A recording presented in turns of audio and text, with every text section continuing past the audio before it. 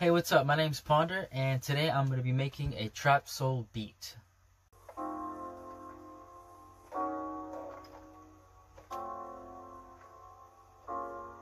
And after that, I recorded those into Edison, and I reversed them and slowed it down a bit, and they came out like this right here.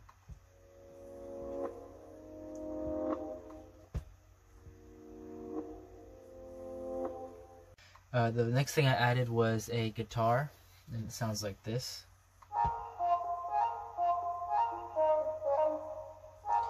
With the melody that I have so far, it sounds like this.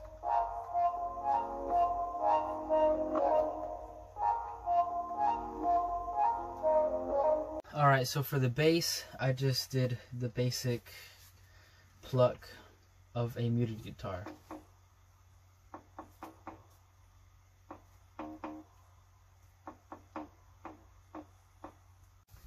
Okay, and for the drums, uh, here are the bass. Here's the hi hat pattern with the snare, and then the and then the kick.